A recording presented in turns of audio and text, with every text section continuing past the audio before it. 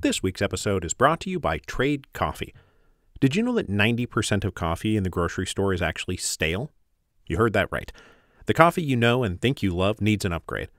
And instead of rebuying the same old, same old, let Trade Coffee send you something freshly roasted that you're literally guaranteed to love. You take a coffee quiz to get started, then Trade calculates a flavor profile and starts sending you the freshest roasted and ethically sourced beans from America's best independent roasters. Trade Coffee guarantees you'll love your first bag or they will replace it for free, and after that, the subscription is no hassle. You can skip shipments or cancel anytime. This week, I got a bag from Feast Coffee and Culture in Redding, California, specifically the Power and Glory blend. It's great, so shout out to Feast in Redding, California for making a great cup of coffee.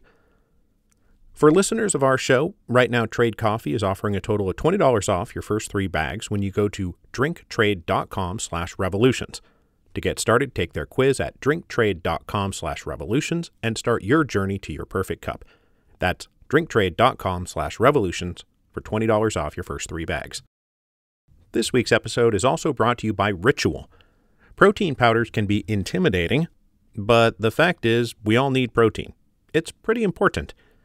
Ritual's Essential Protein is a delicious plant based protein powder with three distinct formulas designed to meet the body's changing protein needs. You can keep it simple and just add water, shake it up, and sip. But we here in the Duncan house take all the good stuff in Ritual Protein Powder and put it in our smoothies every morning. That's how we like to use it. It blends great, it tastes great, and it's become part of our, well, ritual.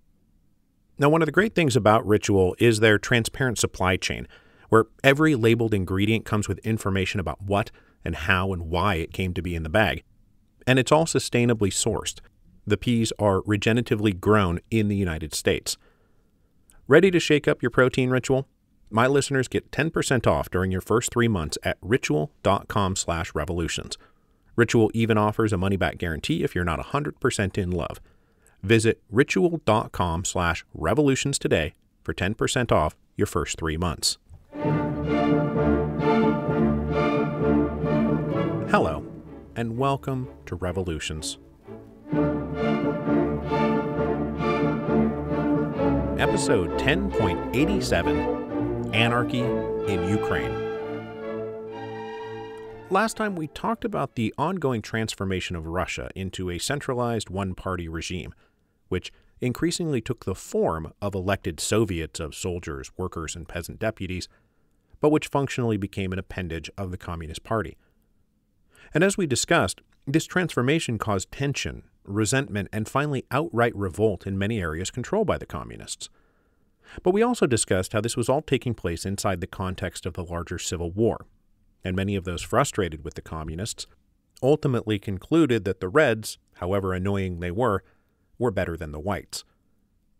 This week, we are going to talk about a region where this mess of social unrest and political tension and military necessity combined with particular volatility Ukraine. Since the Treaty of Brest Litovsk, the armies of the Central Powers had been occupying Ukraine. But their capitulations on the Western Front in the autumn of 1918 meant that they were now going to be forced to withdraw. This withdrawal would leave a gaping power vacuum that left much of Ukraine in a state of anarchy. And I don't mean that as a pejorative synonym for chaos and disorder, although there was an awful lot of that going around. I mean a literal state of anarchy. Because Ukraine was the place where the black flag flying anarchists enjoyed the greatest success at establishing their vision for what post revolutionary society ought to look like. Now, depending on who you talk to, they either provided a viable blueprint for an alternative to the creeping authoritarianism of the communists, or they were simply tossing off half baked ideas that were never going to survive prolonged contact with reality. Either way, there is no way to tell the story of the Russian Revolution without discussing the Ukrainian anarchists, and specifically their greatest leader, Nestor Makhno. Nestor Makhno was born in 1889 in Hulaypol, a small rural city in southeast Ukraine situated east of the Dnieper River and north of the Sea of Azov. His parents had both been born serfs and were liberated by the Emancipation Decree of 1861, but they were still extremely poor at the time of his birth. Compounding the family's misfortunes, Makhno's father died when he was just 10 months old. Little Nestor was the youngest of five children, and he received only a few years' primary education. As a student, he was noted for being bright and clever, but also extremely headstrong and rebellious. He didn't last long in school, though, but mostly because the family's economic circumstances forced him to go out and work for wages. He took his first paying job at the age of just seven. Makhno spent what was left of his childhood working in the fields for wages before moving on to assorted other odd jobs. Wherever he went, the story was always the same bright and capable, but rebellious and undisciplined. Makhno came equipped with an instinctive hostility to authority that was compounded by a life spent working for various landlords and estate managers. He never did go back to school, and so, unlike most of the other revolutionaries we've talked about, Makhno was not radicalized at university before advancing on to the coffee houses. In fact, he developed something of a loathing for those kind of intelligentsia radicals who had no real connection to the things they were talking about. And in fact, Makhno actually was what many coffee house Russian revolutionaries idolized, but could never be themselves a true revolutionary peasant. Makhno first got into politics as a teenager in the wake of the Revolution of 1905 Attracted to the fundamentally anti authority message of anarchism, he joined a small anarchist group in his hometown of Hulaypol in 1906. Their group numbered in the mere dozens, but were committed to continuing the revolutionary struggle even in these reactionary days of the Stolypin era. The group engaged in both revolutionary expropriations, which is to say robberies, as well as revolutionary strikes against the enemies of the people, which is to say bombings and arsons of local estates. He was arrested once and held for 10 months before being released without charges even being filed. And then the Okhrana infiltrated the group, and after several shootouts with the police, Makhno was arrested again.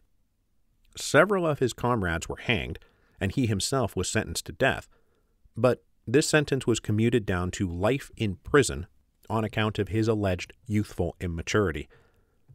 Transferred to a prison in Moscow, young Makhno wound up amidst other veteran political prisoners, and as we've seen before, Russian prisons turned out to be a great place to get further radicalized. In particular, Makhno met a guy called Pyotr Arshinov, who schooled him in anarchism, slipping him smuggled copies of Bakunin and Kropotkin.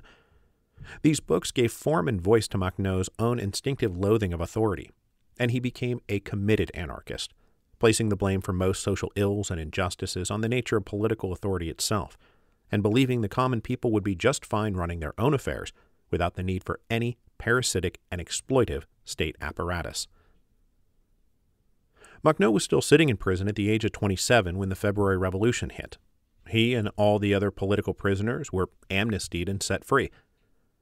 He returned home to Hulaypol and immediately started working to organize the local population, putting into practice the things he had learned in prison. Makhno turned out to be a naturally charismatic leader, and in the post February Revolution era, became a forceful advocate for direct appropriation of land by the peasants. These were the days when the provisional government in Petrograd was dragging their feet on the land question, and we talked about how the peasants out there just started taking matters into their own hands. Well, Nestor Makhno was one of those taking power into his own hands.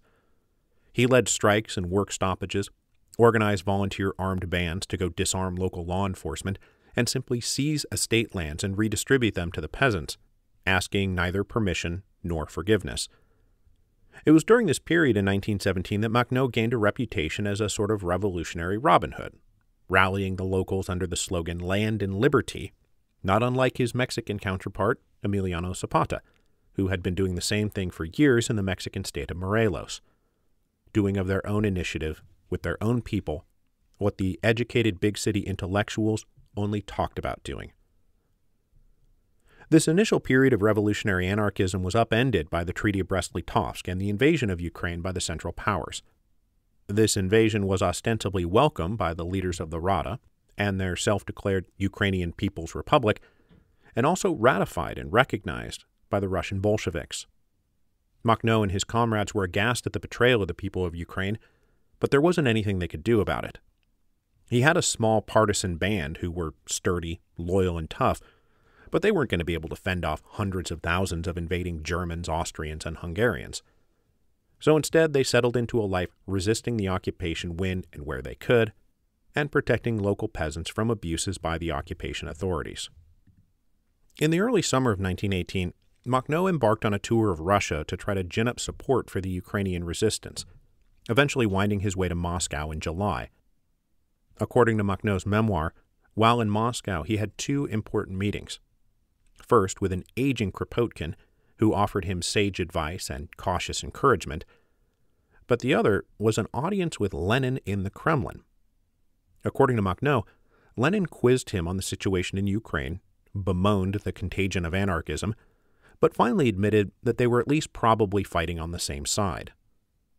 Makhno provides a detailed description of this conversation, and his depiction of Lenin certainly tracks with Lenin's personality. But it is worth mentioning that, so far as I can tell, Makhno's memoir is the only evidence we have that he ever met personally with Lenin.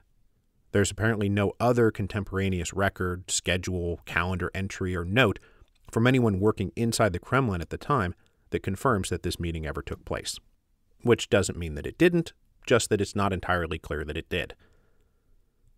From Moscow, Makhno returned to Hulaypol and found things had gotten worse in his absence. The occupation forces were rooting out all his comrades. His mother's home had been burned to the ground. His brother had been shot. He also discovered that a bounty had been placed on his own head, and he had to go into hiding. But it would be a very active hiding, not a passive hiding. Makhno started organizing and arming local forces to commence a more deliberate guerrilla campaign against the occupation. And it was during this period, in the second half of 1918, that his reputation as an innovative military strategist and tactician grew. He wound up running an exemplary guerrilla campaign built on speed, mobility, surprise, local knowledge, and loyal camaraderie. His growing forces were supported by the peasants with food, supplies, and information, they could gather, strike, and disperse before the enemy forces, mostly Austrian soldiers, could respond. He famously pioneered the use of mounting machine guns on horse drawn carts to strike targets with deadly speed. And while military affairs took up most of his attention, Makhno also became quite the anarchist proselytizer. He delivered passionate political speeches in every town and village he passed through, always and everywhere promising the people what they wanted land and liberty his courage in battle and steadfast commitment to the safety of the local population earned him the affectionate honorific Batko, or Little Father. And as much as Makhno hated all forms of authority, he was earning quite a bit of it for himself. This brings us to November 1918 when everything gets turned upside down once again. The defeated Central Powers had to renounce their claim to Ukraine and prepare to withdraw their forces. This left the propped up reactionary regime of Hetman Skoropadsky without anything propping him up. Multiple political factions gathered forces to overthrow the Hetmanate, and within a matter of weeks, Skoropadsky abandoned Kiev and fled into permanent exile. His flight was precipitated by the advance of those left leaning Ukrainian nationalists that had formed the initial leadership of the Rada. They took over Kiev on December 19th and established a new directory government to govern what they were declaring to be the restored Ukrainian People's Republic. But they were far from the only faction in play. Conservative forces who had supported the Hetman and the occupation waited in the wings for an opportunity to launch a counter revolution. Meanwhile, on the border with Russia, there loomed two forces the Russian communists were organizing an army to support a Ukrainian Soviet Socialist Republic that would enter Ukraine as soon as they were sure the armies of the Central Powers were fully withdrawn. But there were also white armies under General Denikin also poised for an invasion. They planned to take over Ukraine and use it as a further springboard to capture Moscow. Meanwhile, anarchist groups like Makhno's had no truck with any of these people and they planned to carve out their own stateless society free of all outside authority or interference.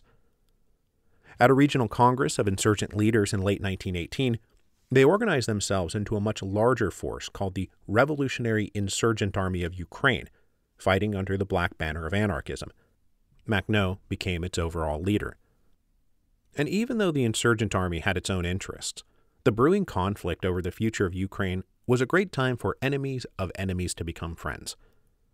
Makhno identified four immediate enemies for the insurgent army the forces who had propped up the Hetmanate, the withdrawing armies of the Central Powers, the Don Cossacks, and the White Russians who were aligned with Denikin's volunteer army.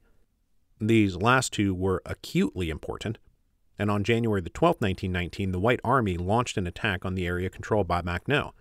And on January 21st, they directly attacked Hulaypol.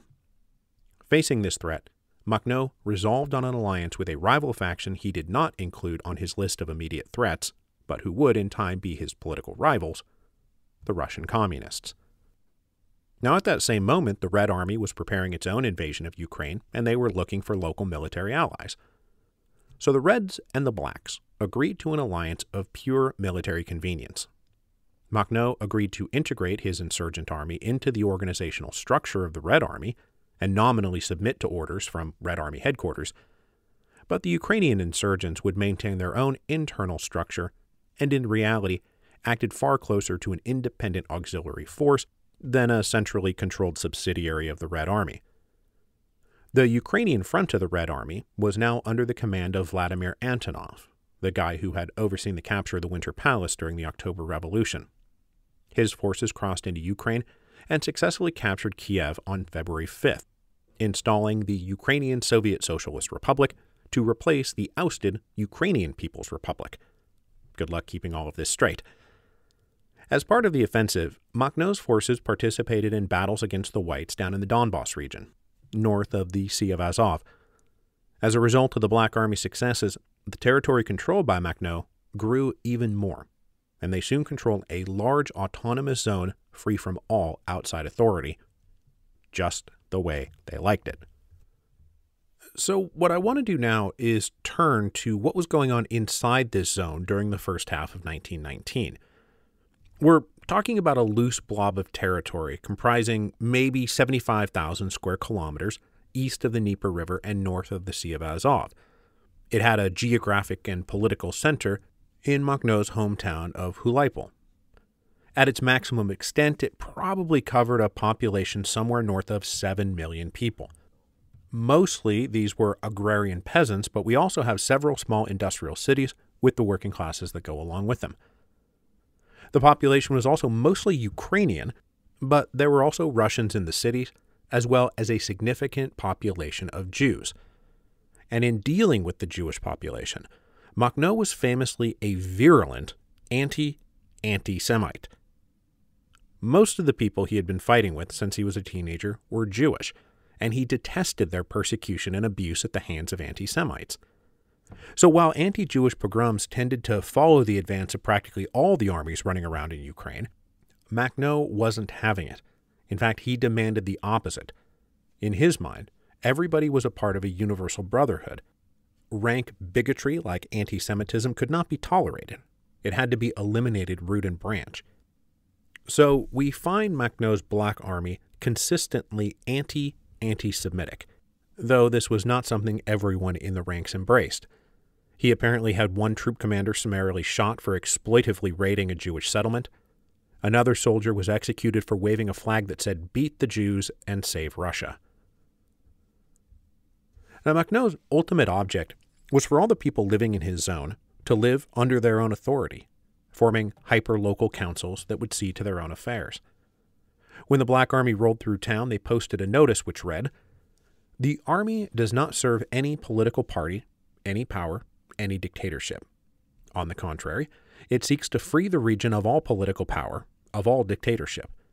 It strives to protect the freedom of action, the free life of workers against all exploitation and domination.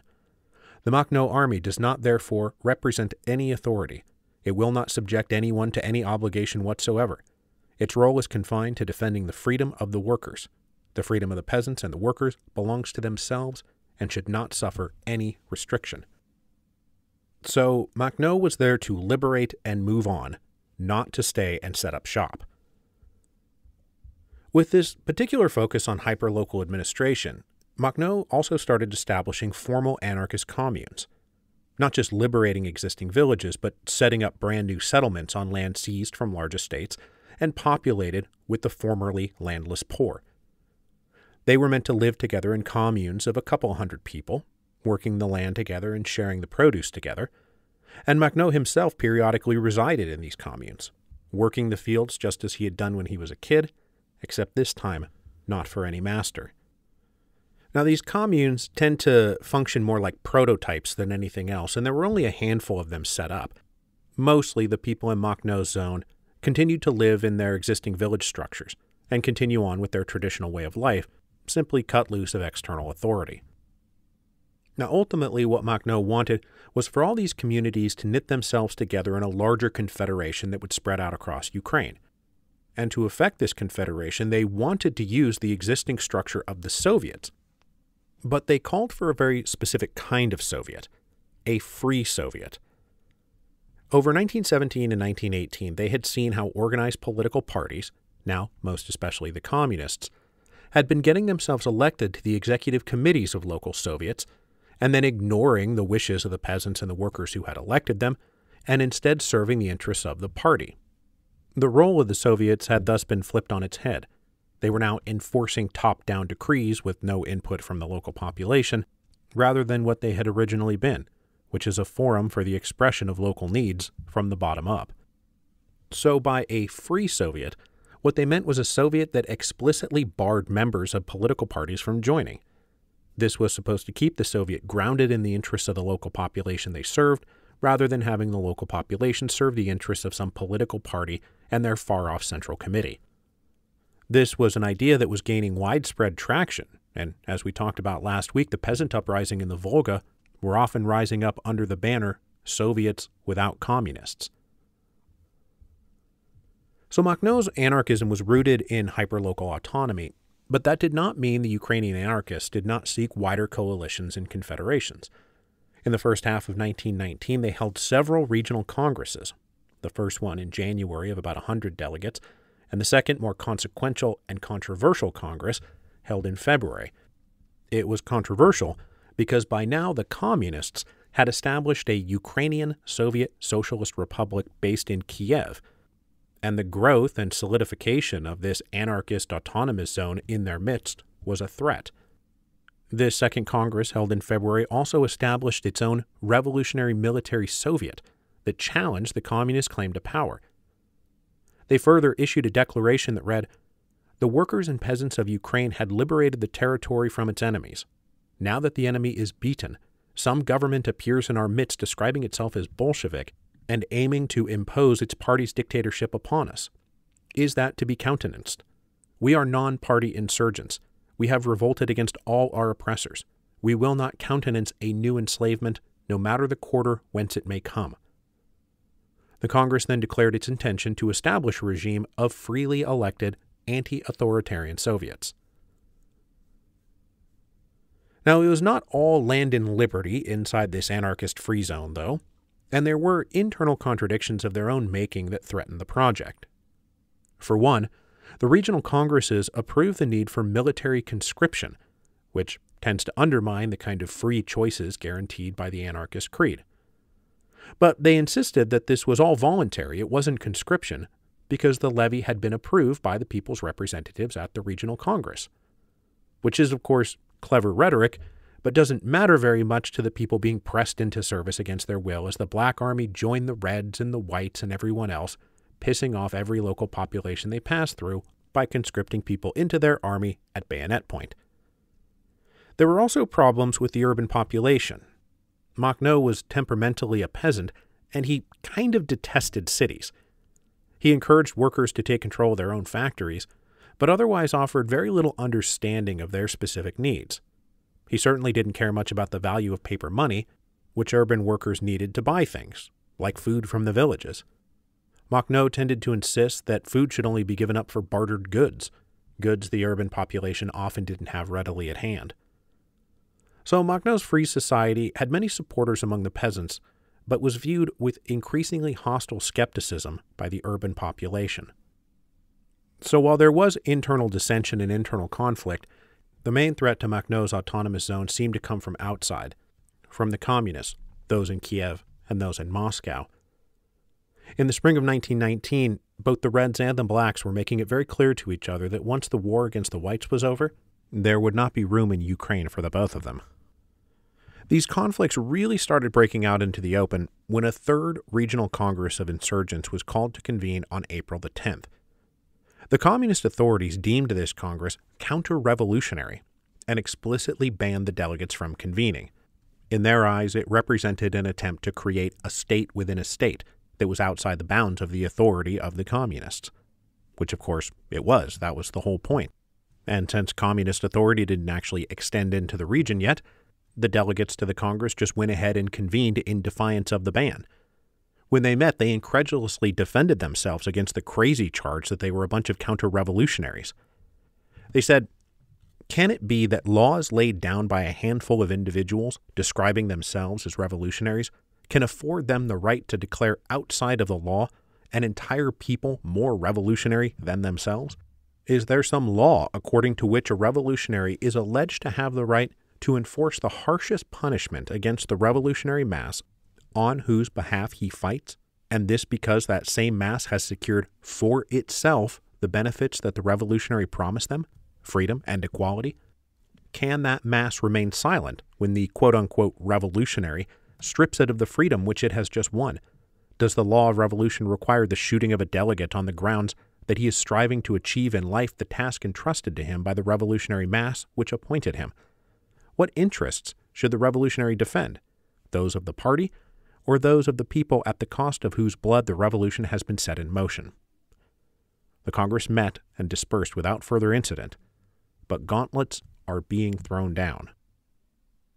Now, despite all this, as late as April 1919, both sides were still publicly supporting each other. Kamenev even came down and praised Makhno's steadfast revolutionary principles though he also sent a private telegram to Lenin recommending only temporary diplomacy with Makhno's army. Makhno was also told by sympathetic functionaries inside the Soviet apparatus he might be ambushed and killed. Now, this was not a great time for the Reds and the Blacks to be sizing each other up for a final battle, because General Denikin's White Army was about to make a major push into Ukraine. Like his counterpart, Admiral Kolchak, Denikin was now being supplied by the British, and throughout the fighting in 1919, his army would receive in total almost 200,000 rifles, 6,200 machine guns, 500 million rounds of ammunition, 1,100 artillery pieces, and nearly 2 million shells. They also delivered 60 brand new tanks and made available 168 aircrafts from the newly minted RAF. They also received additional supplies for the soldiers, including 460,000 coats and 645,000 pairs of boots. Supplied to the hilt and now commanding a pretty competent and disciplined white army of about 50,000 men, Denikin moved into Ukraine in the spring of 1919. The forces opposing him started to break down in May. Trotsky visited the region for the first time and reported the prevailing state of chaos, irresponsibility, laxity, and separatism exceeds the most pessimistic expectations. The Ukrainian front to the Red Army had been built on a system of alliances with local warlords, including people like Nestor Makhno. But just as the Whites started to advance, one of the most important of these local warlords, a guy called Nikifor Grigoriev, split from the Reds, taking all his forces with them. Now, it wasn't entirely clear what Grigoriev's ultimate plan was, but he controlled a good chunk of southwest Ukraine, and his defection was a big deal. Trying to hold the rest of the line together, Kamenev ordered Makhno to denounce Grigoriev publicly, but Makhno refused to take a hard, pro communist line and said only that he remained unshakably loyal to the worker and the peasant revolution, and that as an anarchist revolutionary, I cannot by any means support seizure of power by Grigoriev or by anyone.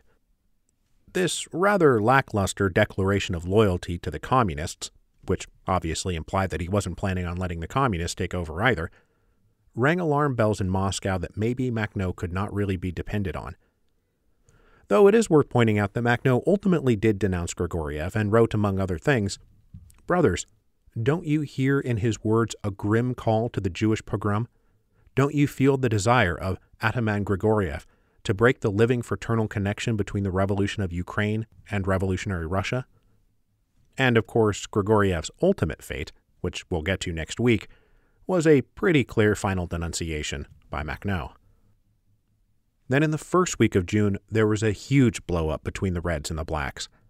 A fourth regional congress was scheduled for June 15, and this time the communists absolutely refused to allow it to proceed, especially because the invitation sent out was addressed to soldiers in the Red Army, all but encouraging them to mutiny and desert, to ditch the authoritarian Reds and join the freedom loving blacks. So Trotsky issued Order Number 1824 on June 4th, absolutely forbidding the Congress. And he said, among other things, the Hulaypol Executive Committee, in concert with Makhno's brigade staff, is attempting to schedule a Congress of Soviets and insurgents. Said Congress is wholly an affront to Soviet power in the Ukraine and to the organization of the Southern Front, to which Makhno's brigade is attached. That Congress could not produce any result other than to deliver the front to the whites, in the face of whom Makhno's brigade does nothing but fall further and further back, thanks to the incompetence and criminal tendencies and treachery of its commanders. This is quite an open denunciation of Makhno, and it was followed up by communist aligned Red Army forces moving into his district, breaking up the anarchist communes, and briefly occupying Hulaypol itself. But this occupation didn't last very long, because just a few days later, Denikin's forces showed up and drove off everyone. Makhno resigned from his position in the Red Army while reaffirming his commitment to the revolution, at least to the revolution as he understood it, as a revolution of workers and peasants, actual workers and peasants, not just those who claimed to represent them. With the whites advancing through Ukraine, Makhno declared his intention to go on waging a guerrilla war, just like he had waged against the occupation forces in 1918. Trotsky ordered Makhno arrested for deserting his post, but sympathetic officers in the Red Army tipped him off, and he avoided capture by the Cheka. Meanwhile, the Whites enjoyed unbroken success in Ukraine against the disintegrating line of Red and Blacks. The Red Army retreated more than 200 miles beyond even Kharkov, the main political and industrial center of eastern Ukraine and one of the most important cities in the whole region. On June 4th, Trotsky had confidently said, I think that Kharkov stands in no greater danger than Moscow or any other city of the Soviet Republic. It fell to the whites by the end of the month which opened up the question if it was in no greater danger than Moscow, then how much danger was Moscow in? Next week, we will answer that question as we get to the second stage of Denikin's 1919 summer offensive. The threat of an ultimate white victory will force the Reds and the Blacks back together into an uneasy fighting alliance. As the Red Army reformed a front line and Makhno's guerrilla forces found the overextended white supply lines easy pickings. They would once again team up to save the revolution. They both believed the other was hell bent on wrecking.